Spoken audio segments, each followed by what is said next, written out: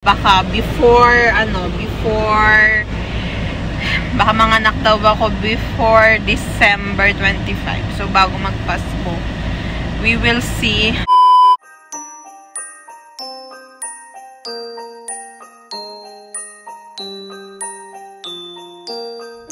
Hello everyone! Welcome to my channel. I am Donita, your Pinay teacher in Norway and in this video, I will share a glimpse of my life with you. So this will be a day in my life.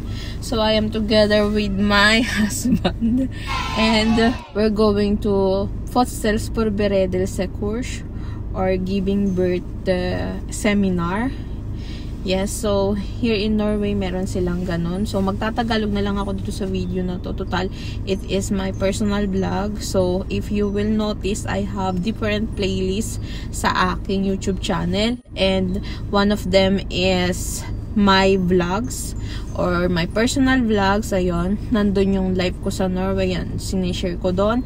And my another playlist is Learn Norwegian with me. So, yung mga tutorials ko on how to learn the Norwegian language, andun po lahat. And then, yung all about Norway. So, mga important informations about Norway. So, syempre, itong vlog na to, i-share ko sa inyo yung life namin ngayong araw na to and also I will share some information about sa healthcare dito sa Norway. So, ano ba yung mga na-experience ko especially ngayon na pregnant nga ako. So, ano yung mga importanteng bagay and yung mga pros or mga positive things na na-experience ko bilang isang buntis or pregnant woman dito sa Norway. So, bago tayo mag-start doon, I will give you some information about healthcare dito sa Norway. So, according to my research, ayan, meron akong kodigo dito. All hospitals are funded by the national budget.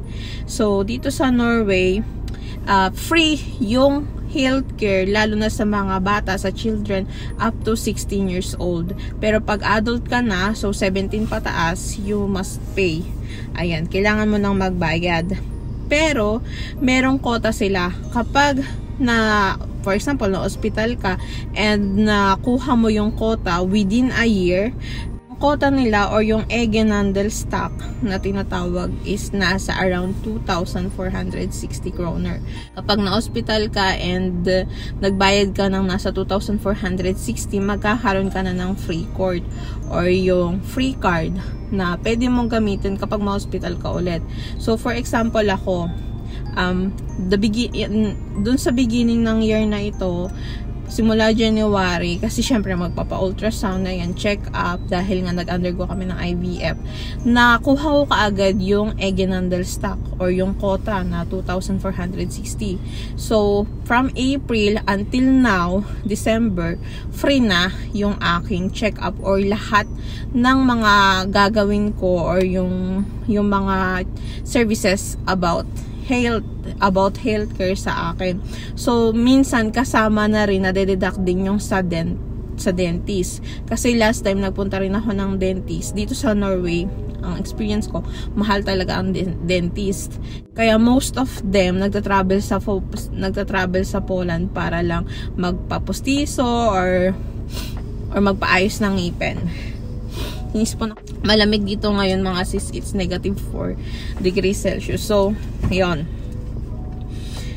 Yun yung sa, ano nila, sa healthcare nila. And masasabi ko naman is, maganda talaga kasi kapag nakuha mo na nga yung quota na 2,460 plus, free na yung babayaran mo, di ba? Hindi ka na magbabayad. Ngayon, i-share ko naman sa inyo yung pagbubuntis ko. So, if napanood nyo yung my IVF pregnancy journey, ayun, sinabi ko na dun yung process ng pagkakar pa process ng IVF. Pag nabuntis ka dito sa Norway, free na yung check-up mo. So, wala ka nang babayaran.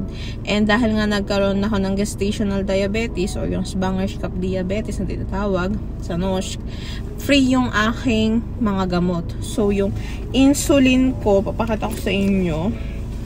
Yung insulin, ayan, magkano ang insulin? Free yan dito sa Norway. Tsaka yung pinahang pang-test sa blood sugar, free lahat yan. Wala akong binayaran as in dahil ako ay nagkaroon ng gestational diabetes. Lahat, pati needles or yung karayom, insulin, lahat-lahat free siya. Yun yung kinaganda at talaga namang na-appreciate ko. Kaya, ano talaga, isang one of the pros of living here in Norway. Kung gusto nyo panoorin yung aking vlog about pros and cons of living here in Norway, ayun, nandun, uh, isang kinaganda yon yung healthcare services talaga nila dito. Ayun. And mamaya na ako dadaldal kasi magpupunta, malapit na kami mag-start sa aming fossils for Beredel Secours. Ang haba ng word na yon So, pagpapatuloy ko na lang yung vlog later on. Okay? See you later, mga sis. Ayan, tapos na kami. Grabe ang lamig. tapos na kami sa seminar. For Beredel Secours masse nude. From 12 hanggang 2.30. Ayan, katatapos lang namin and mamimili na, magro-grocery na, tapos uwi na kami. Ayan. A few moments later. It's uh, negative 6.5.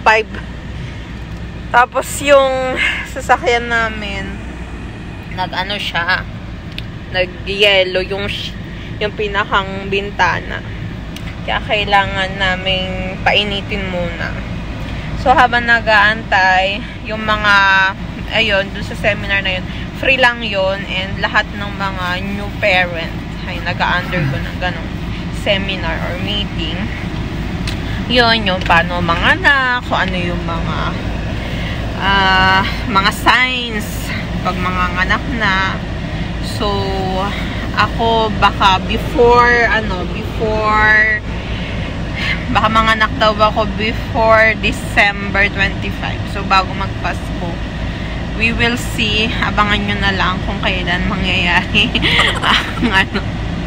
Yeah, so kukunting ano na lang ilang tulog na lang ako yung mga anak na. So pag pray nyo ako mga sis ayun and then uh, pinag-usapan din namin yung about being uh, first time parent, kung paano yun nga, magpalaki ng bata, or paano maintindihan yung baby, lalo na hindi pa yung nakakapagsalita, yung mga signs, ganon. Yun yung pinakang topic nung ano yun, meeting na yun. So, importante din talaga siya, lalo na sa mga first time parent.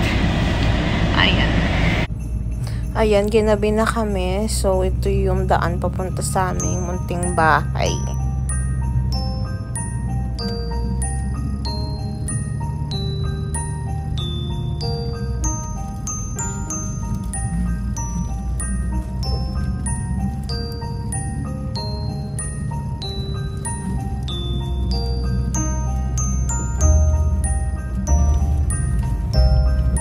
sa bahay.